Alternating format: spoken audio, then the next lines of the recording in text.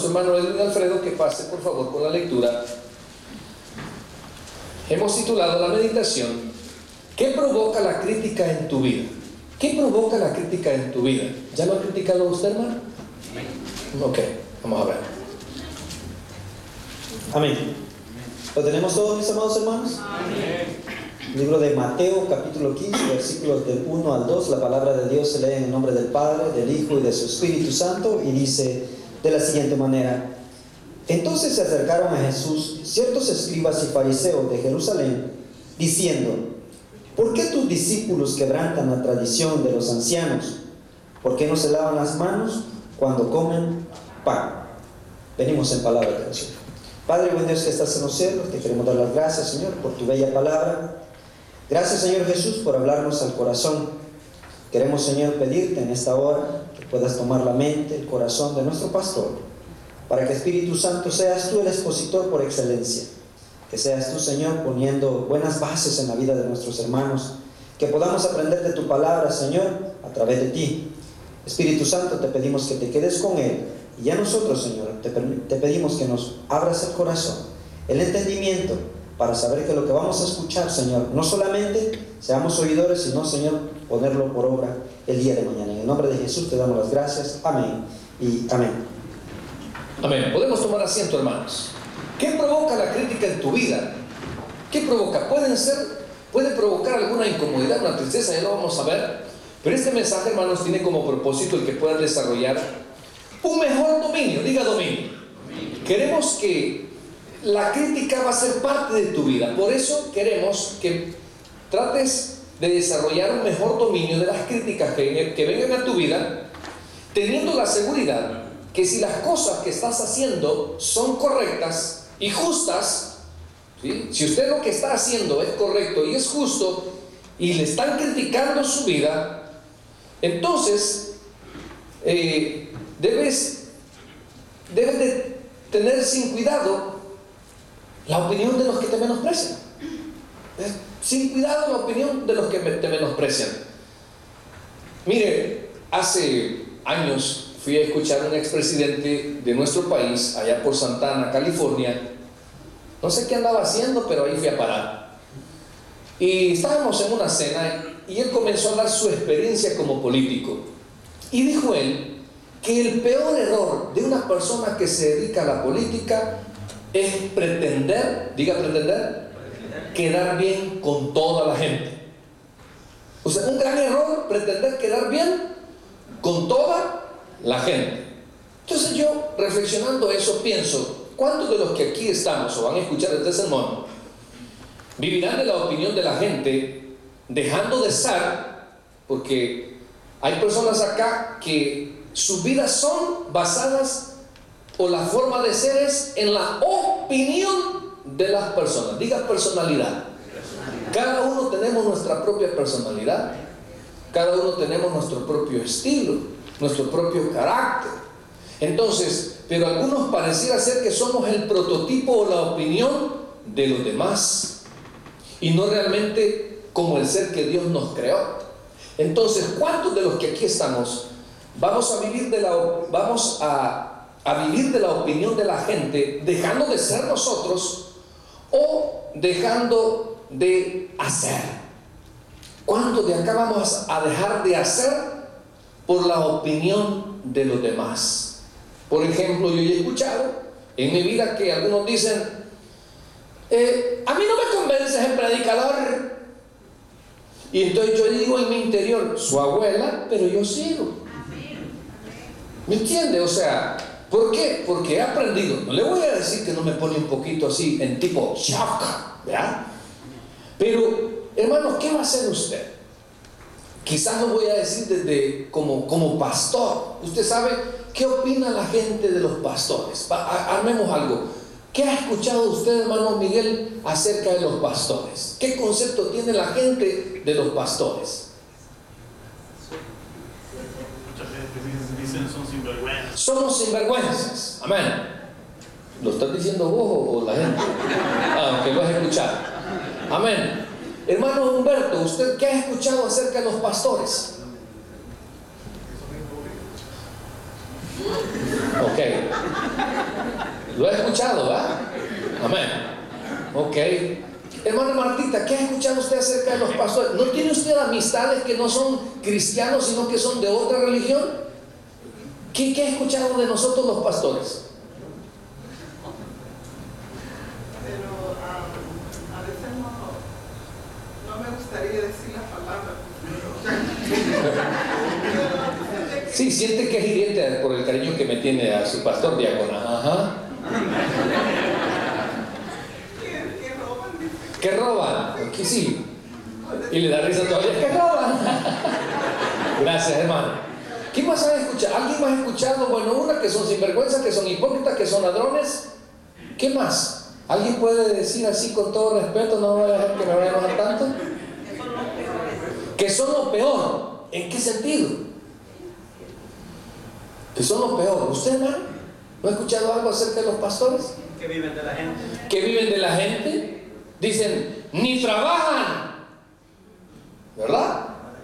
Sí. Entonces vea, si nosotros los pastores, por ejemplo, al igual que usted, bueno, al menos en nuestra organización, trabajamos, tenemos un salario, o sea, tenemos un salario establecido, pero pareciera ser que algunos decimos, no me voy a comprar esto porque entonces la gente va a estar opinando que yo estoy robando. Algunos acá, me estoy poniendo el ejemplo del pastor para que me entienda esto. No sé si usted alguna vez ha soñado con cambiar, no su marido, su ¿eh? Su vehículo, o quiere siempre lo mismo. Pero hay algunos que dicen, no, pero estoy hablando de nosotros los pastores, no puedo comprar eso porque, ¿qué va a decir hermano? Se va a pensar. Y eso nos pauta a nosotros a, a- no ejercer, primero a dejar de ser lo que yo soy. Y dos, a hacerme emprender porque vivo de la opinión de los demás. ¿Sí? Entonces, porque eso es una crítica. La crítica es una opinión. Ya sea buena o ya sea mala, pero es una opinión. ¿Verdad? Eh, Y ah, basado en eso, nosotros vivimos. Entonces, mire, vamos a decir este principio también. Hermanos, la crítica va a ser una piedra que te vas a tener que acomodar en el zapato. Siempre va a andar ahí la crítica. ¿Mm? No sé si usted tuvo infancia o ya le, ha, sucedido que se le ha metido una piedrita en el zapato y está en plena reunión y cómo se quita el zapato usted en ese momento. Si usted se lo quita, duerme a toda la fiesta, toda la reunión, ya no comemos. ¿Sí o no? No, entra usted y siente que anda la piedrita ahí y, usted es tan habilidosa que hasta ha llevado medias y cómo hace para regular esa piedra a ver a dónde la mete y le agarra. ¿Sí? Fíjese, la piedra anda en el zapato, pero usted se mueve de aquí y empieza usted. De repente ya la acomoda y logra caminarlo hasta que de repente sale de la reunión, va al baño y dice, el zapato y lo avienta por allá. Y solo no quiero ni pensar aquellas hermanas que usan medias hasta aquí. Porque después de la media viene la baja. Y a ver qué otros menesteres. La- Ay, qué cuerpo malo. Ay, sí, sí. Bien, apretado. Pero bueno, no estamos hablando de la faja. El punto es de la piedra. Sigamos con la piedra. Si la piedra, mis amados, nos la acomodamos. ¿Por qué? Porque tenemos que estar ahí, porque es un compromiso serio y no, no nos podemos ausentar. La crítica es igual. O sea, por ejemplo, siempre van a opinar de usted, eh, eh, hermana, de- como pareja de su esposo. Bien o mal, siempre van a opinar.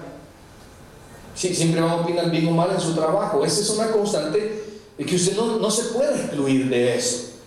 Siempre van a, eh, van a, decir, por eso, hermanos, eh, es, es importante saber que con la gente nunca se queda bien.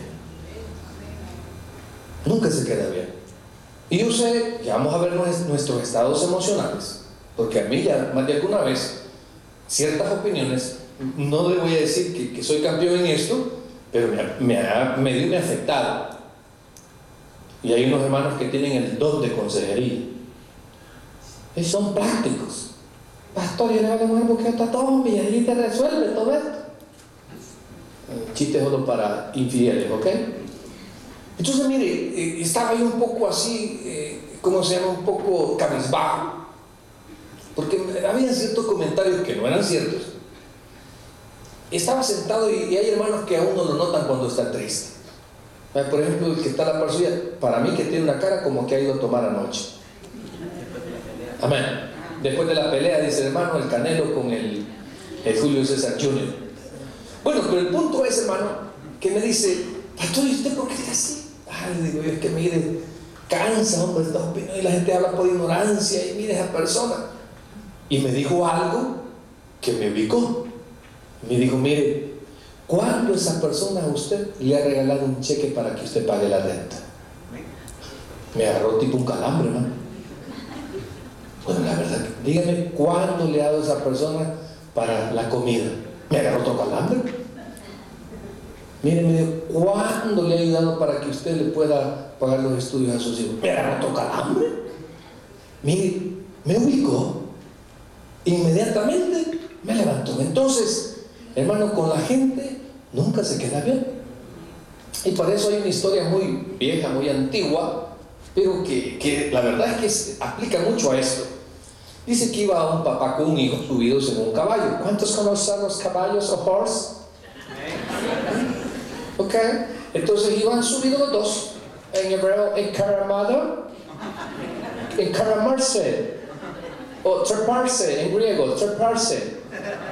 Iban subidos los dos y llegan a un pueblo y escucharon la opinión de algunos de los, de los lugareños que dijeron, qué bárbaros son las personas, subidas en el, en el caballo, no le dan descanso. Entonces le dijo el padre al hijo, mira, en el siguiente pueblo, cuando vayamos, para evitar esa opinión, lo que vamos a hacer es que te vas a bajar tú y voy a ir yo subido en el caballo. Pasaron en el caballo y dijeron los lugareños de ese nuevo pueblo, qué barbaridad, qué padre más injusto. Él subido en el caballo y el pobre hijo caminando. Entonces alcanzó a oír al hijo y dijo, "Eh, mira papá, en ese siguiente pueblo dijeron que tú eras un gran injusto, que tú subido en ese caballo y yo caminando. Entonces vamos a hacer algo. En el siguiente pueblo me voy a subir yo y usted va a ir caminando. Se subieron y pasaron al siguiente pueblo y dijeron también los del lugareño, qué hijo más injusto. Él subido en el caballo y el po- pobre padre ya le da caminando. Y entonces lo oyó el padre, entonces le dijo, mira, vamos a hacer algo. Ni vos ni yo nos vamos a subir en el caballo en el próximo pueblo. Acercándonos, nos vamos a ir los dos y el caballo.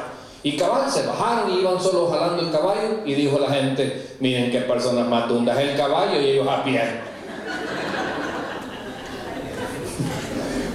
Con la gente nunca, con la gente nunca, nunca vamos a quedar bien con la suegra, nunca vamos a quedar bien con el suegro, nunca vamos a quedar bien con la gente. Hay veces sí, hay veces no. Es una piedra en el zapato. Debe uno a menos hombres. Con las mujeres nunca se queda bien. Mujeres- O sea, dice, dice por ahí una alabanza, a las mujeres hay que amarlas, no entenderlas. Algo así dice la alabanza, ¿no? O al revés. ¿Verdad que sí? Hay que amarlas, no entenderlas. O sea, ya es. Cuando Evita falló, como que tres tornillos en la genética, si se vinieron, se perdieron en el camino. Y estamos sufriendo. Hermanas, con los hombres nunca se queda bien. ¿Cuándo usted se dedicó a hacer un buen sopón levantabolos? Le ha puesto esto, le ha puesto aquello, y usted se la sirve con qué mero y le dice, probala, mi amor. Qué salada te quedó, vos. ¿A cuánto les ha sucedido? Y usted enmudece su rostro, porque hay unas mujeres que, ¿cómo les enmudece su rostro?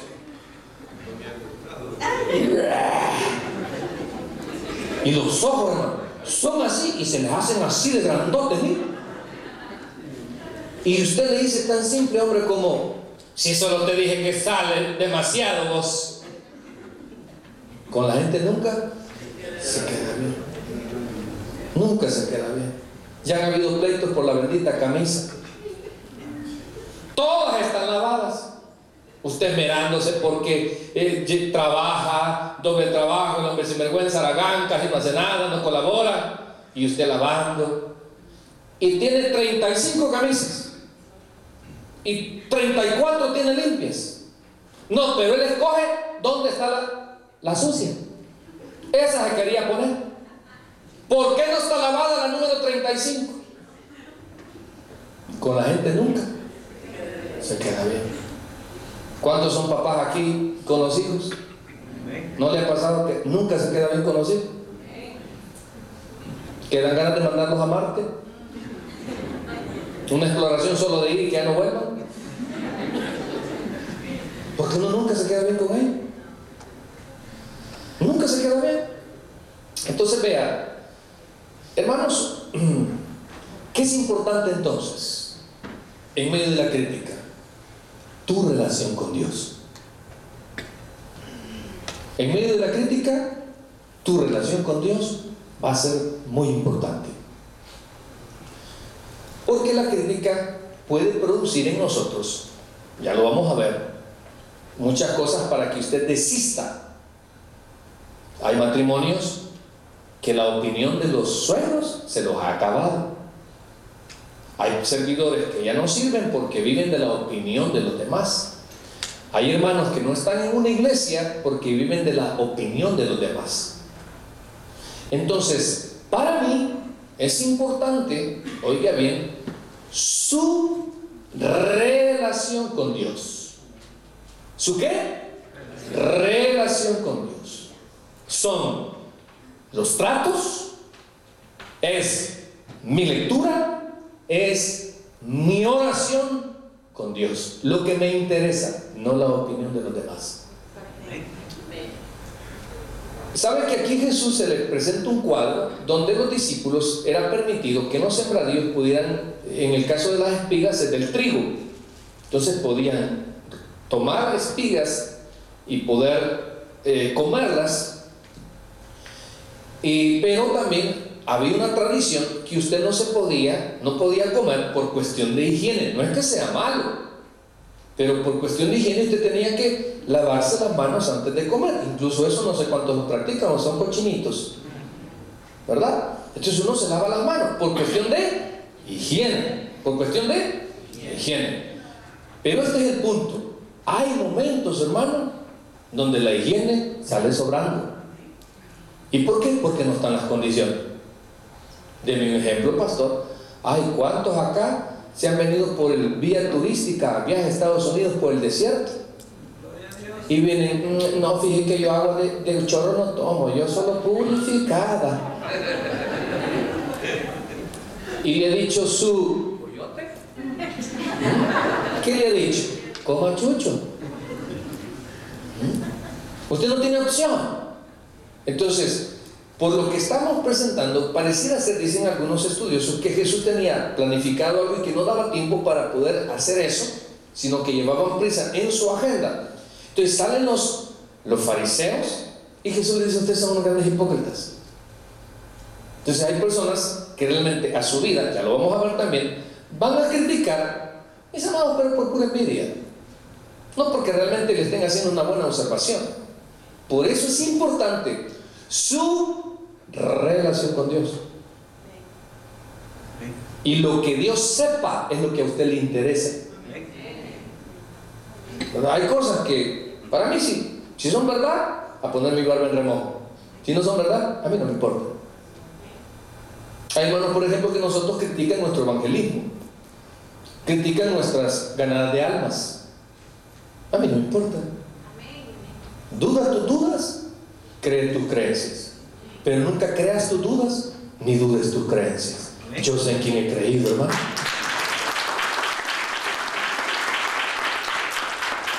Si a mí no me afecta la opinión de los demás, no nos afecta. No andamos comparando tampoco nuestro ministerio con ninguno.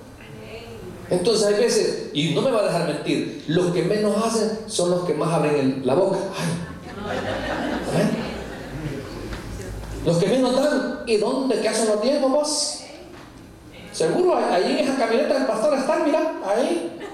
Son 12 meses y solo una vez ha dado. Son 12 cuotas. Y se le echa combustible. Y se paga aseguranza. Y el conductor es bien bonito que soy yo.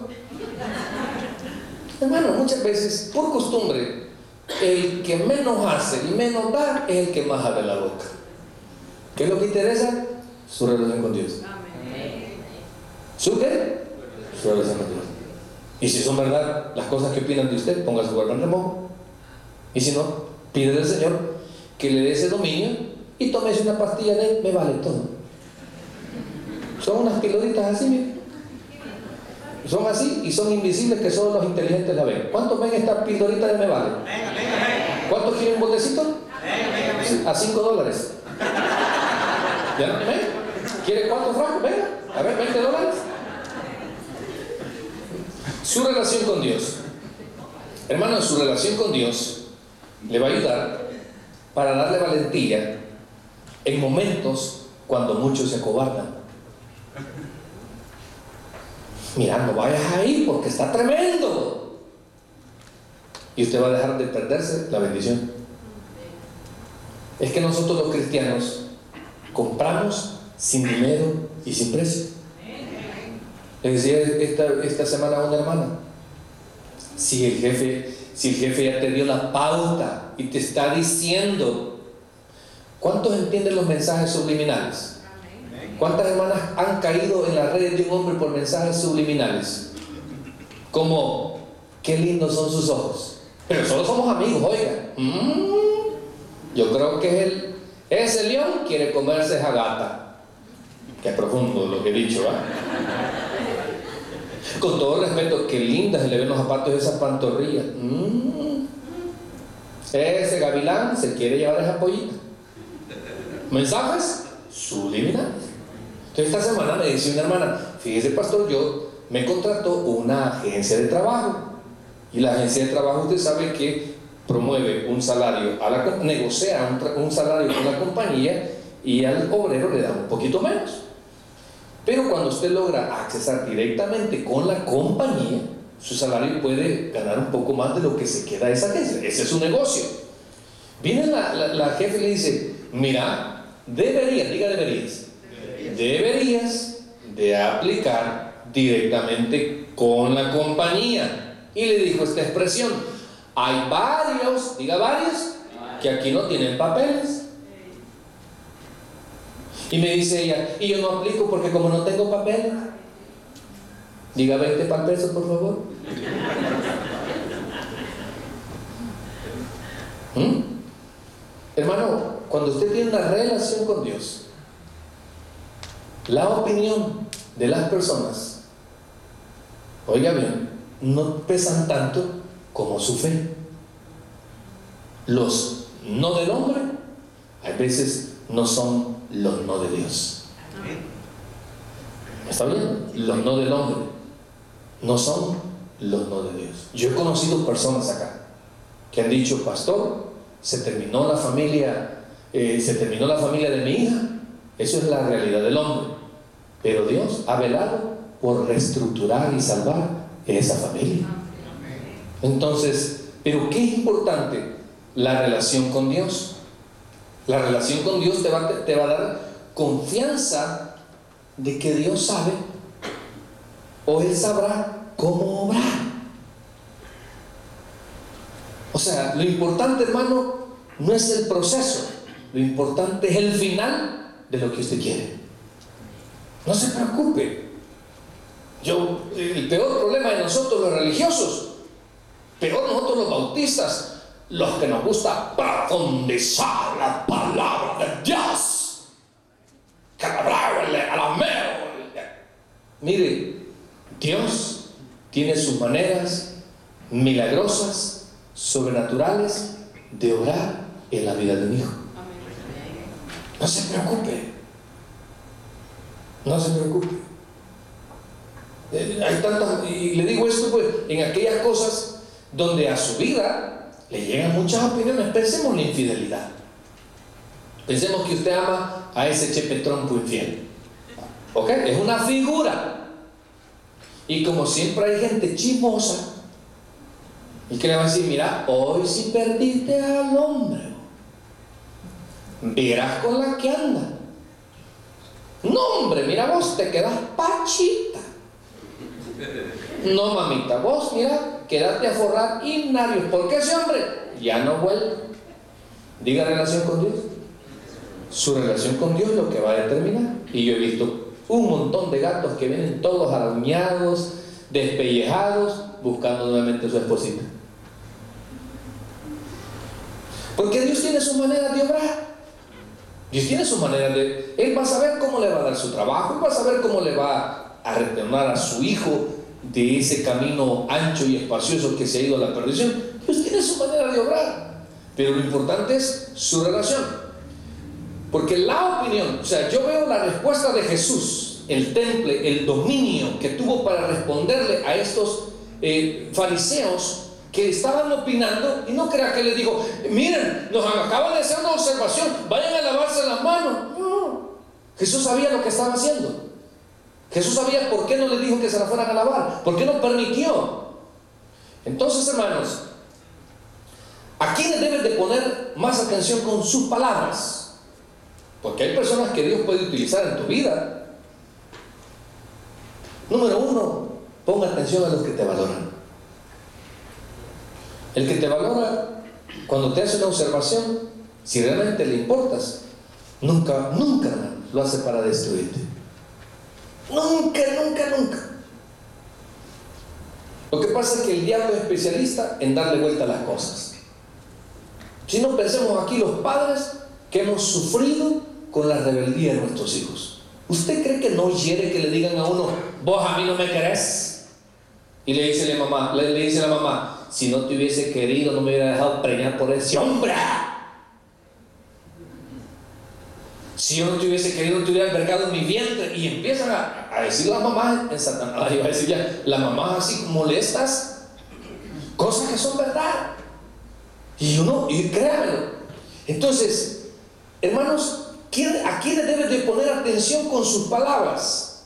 Las opiniones de los que te valoran, de los que te respetan, hay personas que merecen un lugar muy especial en tu vida porque te honran y te respetan.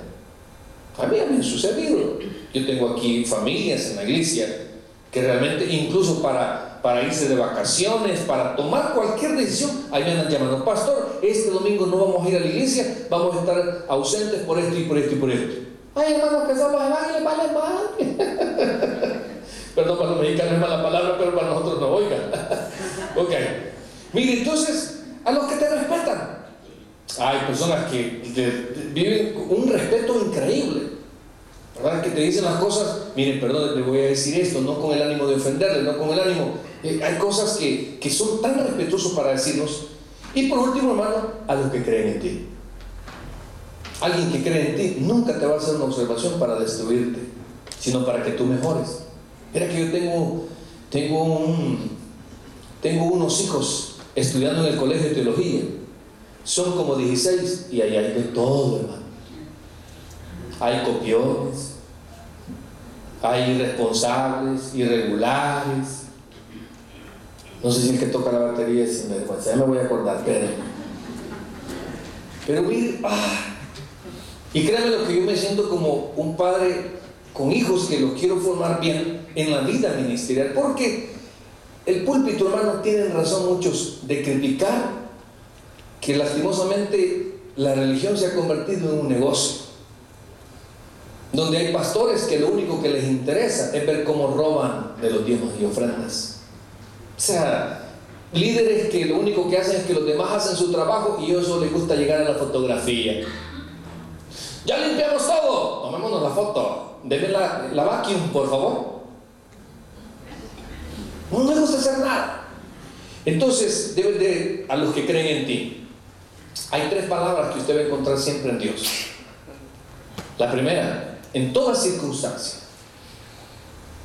No sé si usted está pasando momentos difíciles, pero en toda circunstancia, de parte de Dios, siempre va a escuchar esta palabra. Ten ánimo. Sería en nuestro lenguaje, no se rinda. Yo siempre he dicho, Dios tiene un propósito en cada uno de nuestros problemas. Tenga ánimo. Porque a veces las circunstancias tan difíciles que decimos nosotros, yo no quiero ir a la iglesia, yo no quiero servir, ay, yo este matrimonio ya no quiero seguir luchando. Supieran aquí los que tienen muchos años las cosas que han bregado con sus parejas. Entonces las palabras del Señor en todas circunstancias de tu vida va a ser, ten ánimo. Dos, no temas. No temas. Hermano, Dios está con usted, está conmigo, está con la iglesia, como todo un poderoso gigante. Y número tres, un pasaje tan hermoso de Isaías. O sea, esto no lo estoy sacando de, de mi mente, sino que lo he encontrado en la Biblia. Es algo que dice, yo soy tu Dios, el que te sostiene de tu mano derecha. Usted y yo jamás vamos a caer si permitimos que sea Dios el que nos sostenga en todas nuestras circunstancias. Y vamos a decir al final, los que aman a Dios, todas las cosas les ayudan a bien. Amén. Demos un fuerte aplauso al Señor.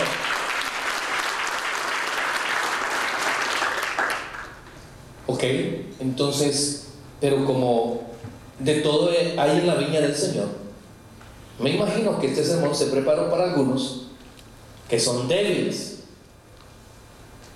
¿Qué puede provocar la crítica en una persona débil? Yo encuentro, mis amados, que puede provocar cinco resultados en una persona débil de carácter, débil ante la opinión de los demás.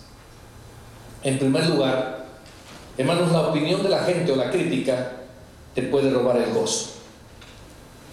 ¿Qué le puede robar a usted? El gozo. Usted con esfuerzo, pensemos en el caso. Y, y digo esto, hermano, porque nosotros somos jocosos en la predicación, pero nosotros, de manera sincera lo digo, amamos a las suegras. Amén. Lo voy a repetir porque solo dos amén. De manera sincera nosotros amamos a las suegras y a los suegros. Dios bendiga a los benditos suegros. ¿Ok? Entonces usted se esmera por preparar su casa, por arreglar su casa. Y pone en pie la persona y usted con qué gozo ha pintado, con que usted gozo ha puesto unas florecitas. Y le dice, ay, esas flores, mi, mi hijito es alérgico. O usted, hermano, que se esforzó por comprarle un buen ramo de flores. Y le dice, ya me imagino, a botarlas iban y, y la compré en cachada.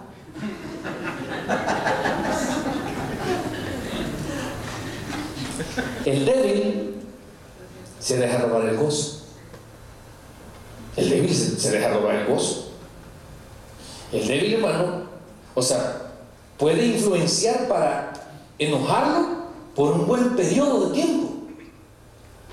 O sea, al débil una crítica le roba el gozo y cuando se enoja pasan días con esa cara cuadrada. Con esa boca así, mire, usted tiene boca regular, pero se le hace tan grande usted. Y que solo es tirado. ¿Qué tenemos? Nada. Y nosotros ajenos no sabemos quién le dio una opinión, porque ya vamos a ver hasta dónde repercute las palabras de una crítica en un débil. Hermano, te puede robar el gozo. Puede influenciar para entristecerte también por un largo tiempo. O sea, el, el, el piense, vuelvo otra vez a la familia, a la vida cotidiana. Dígale a una mujer, no lo voy a hacer, que estás un poco gordita, la mató, hermano. La mató. Porque ella así, mira, fíjate que este, eh, ya, ya no te queda la ropa, ¿va? Este, ¿Qué me estás diciendo? No, no, no, no, no, no. ¿Verdad que no te queda? No, ¿qué me estás diciendo, pa? Hipócrita. ¿Qué me estás diciendo? No, que mira, este, no, y a uno le sale, va, no, es que es donde lava, ¿verdad? el detergente es quien encoge la ropa, hija. Dígale algo. Dígale, mira, este, cualquier cosa que les ofenda su vanidad. Y allá pasa en una cama llorando. Porque me hiciste sentir fea. Ah. Débil. Al débil. Débil. También nosotros los hombres tenemos.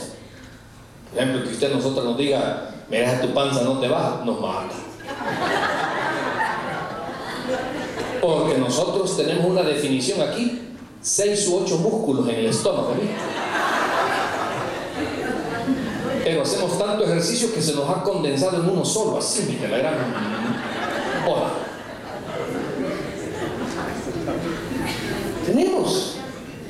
Yo no sé. Ay, y si usted venía a los cultos de la tarde, porque quiero abordar una serie de sermones de problemas del COBA. Donde la persona está, está teniendo su, su- su actividad sexual y dice, y yo me siento que quizás eh, soy fea para él, soy feo para él, no le respondo. Y son palabritas que pueden penetrar demasiado en el corazón o en la mente de una persona. Entonces, eh, a una persona, ¿qué puede provocar? La provocación, los resultados de la crítica en una persona débil. Le puede robar el gozo, puede desmotivarlo, puede desmotivarlo.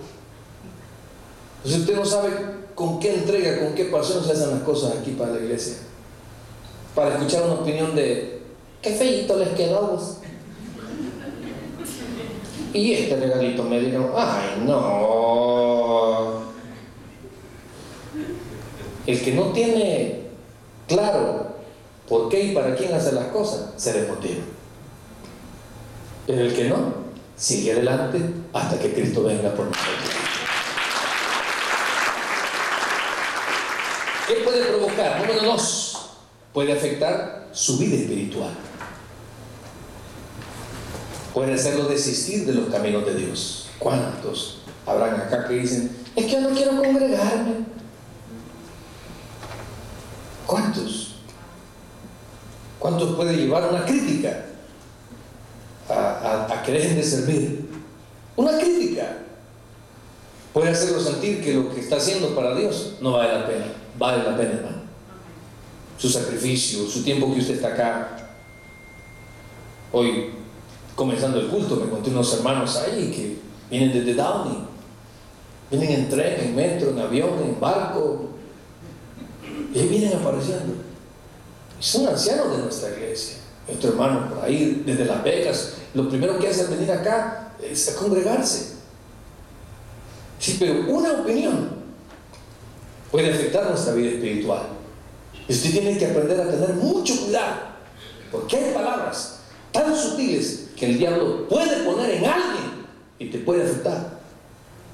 Pero dependiendo de tu relación con Dios. ¿Sí me está entendiendo? Número tres, para ir avanzando. ¿Qué puede provocar la crítica en una persona? Puede afectar su armonía con los demás. Una crítica puede afectar también tu armonía con los que te rodean. Yo le he puesto enojos y distanciamientos. Enojos y distanciamientos. Aunque usted no lo crea, hermano, en las iglesias hay pastores carnales que son unos grandes envidiosos. Envidiosos, egoístas, eh, vanagloriosos. Y, y, y hay una rivalidad ministerial. Y de repente me habla un hermano y me dice, mira pastor, fíjate que quiero ir a tal iglesia, pero no sé si el otro pastor se va a enojar. Hermano, ¿desde cuándo andamos con esas cosas? ¿Desde cuándo? ¿Sabe? Andamos cuando permitimos que las críticas de los demás nos afecten. Hermano, el Evangelio no es un monopolio. El Evangelio no es para un grupo. El Evangelio es para todo aquel que crea. Amén.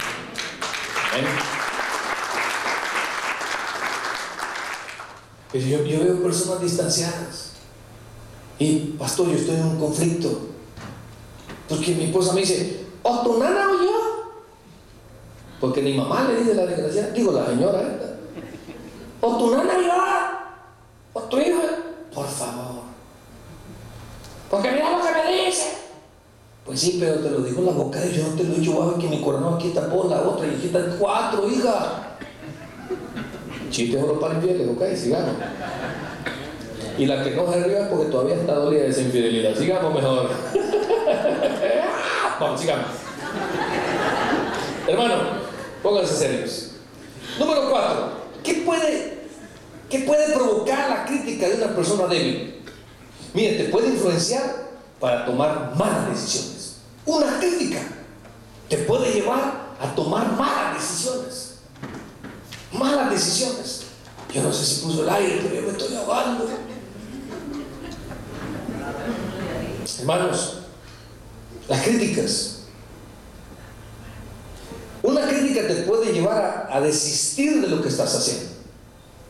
Por ejemplo, mira, oye, de nada te sirve ya dejar de estudiar teología, hombre. Dejar de estudiar esa carrera de medicina. Mira, si yo, eh, eh, comienzan las críticas. Pero mi punto es, en- cuando yo fui a la universidad, hermanos, eh, fui a una graduación de medicina, ya ve que las carreras de medicina son de las más largas que hay. Hay que tener mucha paciencia y mucha constancia. Y fui a una donde le dieron el privilegio a uno de los, siempre le dan a uno para que diga un par de palabras, y escogieron uno que pasó en su carrera, los por lo general son 8 años por ahí, pero él se tardó 15. Él se tardó 15, o sea, atrasaba, ¿no? Y toda la gente se burlaba de él. Toda la gente se burlaba. ¿Y cuándo vas a salir vos? Cuando tengas 8 años vas a hacer tu primera operación, a ver si ya es el corazón, a ver si ya es trabajo. Palabras hirientes, palabras desmotivadoras. Pero él comenzó diciendo su discurso, quiero darle gracias a Dios, a mis padres que siempre me han apoyado, pero también quiero darle gracias a Dios a todos aquellos que no creyeron en mí. Porque ellos fueron mi mejor motor. Y he terminado para no darle gusto y poderles decir, sí terminé y me gradué. Todos aplaudiendo, hermano. Entonces, ¿pero qué puede pasar con aquellos débiles? Hermano, te puede influenciar para tomar malas decisiones. Diga relación. Las decisiones deben estar basadas en tu relación con Dios, no con tus sentimientos, no por tus circunstancias, porque un verdadero creyente persigue hacer la voluntad de Dios, no mi voluntad. Usted quiere ser discípulo de Jesús, tome su cruz y sígale. Y si lo que usted va a hacer, Dios se lo aprueba, hágalo porque tiene grandes bendiciones. Y si lo que usted va a hacer está basado en sus circunstancias o en las palabras que usted ha oído, toda decisión fuera de la voluntad de Dios también tiene sus, sus consecuencias. Amén. Si no ve que está la par suya, pregúntele, pregúntele. Un par de decisiones que tomó basadas en la opinión de otros. Decirle que sí, niña. Mire, Chepito se llama el niño. Mire, le fue la señora, mire, estudió su hogar. Mire, seguirle. Vos sos hombre, dale. Nadie se va a dar cuenta. ¿Mm? Bueno, sigamos, ya se ponen así, bien todo serio, ¿va? Número 5, para terminar, ¿qué puede provocar en la crítica en una persona débil? La crítica en una persona débil. Esto, hermano, es lo que más, creo yo, más resaltante. Puede afectar tu autoestima. Puede afectar tu autoestima. Por favor, usted no viva de la opinión de las personas. Viva de lo que Dios ha dicho y ha prometido en su palabra. Todos pasamos por fallarle a Dios. Todos eh, nos sentimos indignos en ocasiones con Dios. Pero eso es algo que se sienta usted y que el Espíritu Santo lo redarguya, pero no tampoco las opiniones de los demás. Porque el cristianismo es una relación entre Dios y uno, no hay terceros. Usted oír muchas opiniones. No cambiar, de nada te sirve, para qué vas, para qué das, para qué servís. Mira, y vamos a escuchar tantas cosas. Y que en alguna manera, si usted no tiene cuidado, puede afectar su autoestima. Hermano, no seas un prototipo de la opinión de los demás. Aprende a ser quien Dios te hizo. Usted no sea un prototipo de los demás. No sé si va a caber esta comparación, pero alguien dice, ay, yo quisiera ser una Kardashian. Y, perdón, este. Y empezamos, hermano. Porque nos mete en un mundo tan comparativo, tan comercial, tan comparativo. Yo venía pensando y decía yo, yo admiro a esas personas que son libres de complejos y que si se ponen las cosas es porque se sienten bien y que la opinión de los demás sabe sobrar. Si se pintan el pelo, yo quiero que te importa, pues. Y si me pinto así, así quiero yo, ¿y qué, pues? Y quiero comer esto, ¿y qué, qué, pues, qué? Pero hay personas tan débiles que una palabrita lo bloquea. Come ella, no. La anorexia. El problema que está aquí en la mente, mire. Se sienten gordas, se sienten gordas, se sienten gordas. Y así los puros esqueletos. Y se sienten gordas. ¿Dónde está el problema? Aquí, mire, en la mente. Entonces, hermano, a su vida, por ese tipo de pensamientos, ¿cómo los echamos? Con nuestra relación con Dios y tenemos al Espíritu Santo para sacar cualquier tipo de esos pensamientos. Hermano, nadie de los que estamos aquí tenemos defectos. Tenemos cualidades especiales. ¿Sabe que me encanta a mí eso que ha adoptado la cultura en la humanidad? Hay Juegos Olímpicos para los que tienen capacidades especiales. Inca vea, José hermano Siki, por favor, no me vea nadie de menos. No me vea nadie de más. El humilde está en saber perfectamente quién es. Y la humildad radica también en no creerse más ni ver de menos a alguien. Pero el débil, toda la vida, toda la vida va a penetrar y van a afectar su autoestima. No, no puede ser eso. Por eso Dios te trajo ahora para que no vivas de la opinión de la gente. No, no pretendas quedar bien con toda la gente. Tu desafío es tener una buena relación con Dios. Démosle un fuerte aplauso, Señor. Padre, le damos las gracias por su palabra, Señor. Espíritu Santo, que lo que hoy se dijo a través de este micrófono, lo que hoy se predicó basado en su palabra, llegue hasta lo más profundo de nuestro corazón. Y pedirle, Señor, por favor, si usted ha venido a la casa de Dios, no se deje robar ese gozo. Que las opiniones de los demás no afecten su vida espiritual. Que las opiniones de los demás no le afecten la armonía con su padre, con sus hijos, con su matrimonio, con su eh, vida ministerial. Por favor, esas críticas pueden influenciar mal para que usted tome decisiones equivocadas. Esas opiniones pueden afectarle su autoestima. Por favor, no le dé lugar. Apréndase a amar como Dios lo hizo, con la estatura que usted tiene, con su fisionomía. Por favor, deje de sentirse feo, deje de sentirse bonito. Usted siéntase especial para Dios. Señor, le damos las gracias por su palabra.